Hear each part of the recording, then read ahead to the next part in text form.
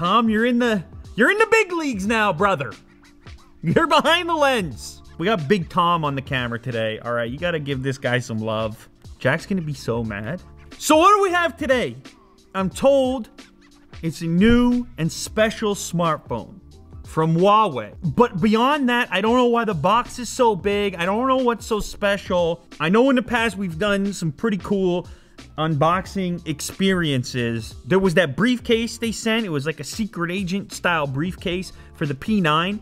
Maybe they're trying to step it up a notch. I know that Tom knows what's going on here, but I was like, don't show me. Keep it a secret. Let's find out exactly what's happening on camera with the audience. So let's crack this open and see what's happening here. Like I said, a box this large for a smartphone, you know something's up. You know something's going on. Whoa.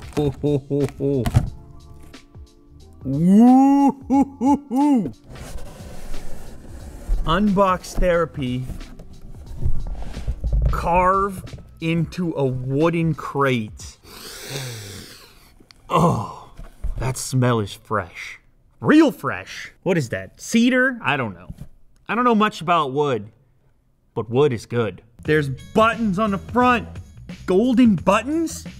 Oh man. It's about to be a pulp fiction moment right here. That's the way I prefer it. I don't want to know. Give me the give me the splash. Three, two, one. Oh. Whoa. The way that thing jumped up, I think I could do that all day. Is that hydraulics? there's a brand new Huawei P10 in there. This is one of a kind, a one of a kind unboxing experience. Ah, the Huawei P10. I don't know, am I like the first person in the world to have this right now? Quite possibly. And just like the P9, We've got the Leica affiliation on the dual camera system as well. Let's get this baby open. This one is like, oh, oh, that's cool on its own. With magnets, oh. I get excited about the weirdest things. Well, you know that, that's why you're watching this. Whew. Oh, I got it in the blue again. You love the sound effect here. Whoa, what is this finish on the back? Can you tell? It's almost like that kind of holographic. Is that the right terminology? Holographic? That is cool. Now, the entire body feels metallic to me, but it's like polished. It almost feels like ceramic or something. As you look around the device, you'll notice here you have a USB Type-C connector, traditional headphone jack, some people are looking for. Now something I like that they've done here with the power switch, the lock switch, it's got a kind of texture to it. So you can tell the difference in your pocket between the volume rocker and that switch. I also notice it's got a red accent on there. Hopefully Tom can pick that up. Do you see that red there? Listen to this. You hear that? So they add back the grip on the very back of the device where you're going to be holding it. All right, let's put this to the side for a moment. Look at the other items inside the box. A SIM tool. Once again, you have the dual SIM tray. You can have either two SIM cards for different regions, different carriers, whatever you want, or you can have one SIM card and a micro SD card in there to expand your storage. I really wish every manufacturer just had this tray right here. Oh, they included a case. Interesting. So you don't see that all the time, and it keeps the pattern on the back. Let's try it on. You don't have to go out and buy a case if you're the type of person who likes to keep a case on it. They've got one in the box. That's a nice little touch. Dual lens, secondary microphone, dual tone flash, laser sensor. Now they've also included a headset. It's kind of a pod style, if you know what I'm saying. You have a USB Type-C cable, supercharged power brick. So that's gonna be a quick charge compatible to get juice to your phone more quickly. I just noticed it says SwiftKey installed for the keyboard. I don't know if I've seen that before, not pre-installed at least. So this is the fingerprint scanner now. Okay, so here we go. I'm gonna just enroll it here. All right, let's test out that scanner. Whoa, wait a sec. Whoa, whoa. I'm gonna be the fastest. It's like, it's, there's zero lag. It's just, whoo. As you can see here, we have A very unique look. It's kind of in line with the design of the device, especially with this color. Now let's go ahead and launch the camera. There's a number of options in here. If you swipe over to this side, there's the photo mode, the monochrome mode, course, video, night shot, light painting. Like, there's a lot that you can do in here. Regardless of what you're trying to do creatively, like, there's a few different ways of doing that within this particular app. Obviously, we're gonna do a perfect selfie. I always wonder how they're gonna make this look beautiful. I'm always a little bit concerned. Oh my goodness, Tom, look at this man right here. You, are we still able to hang out after this, if that's the guy right there?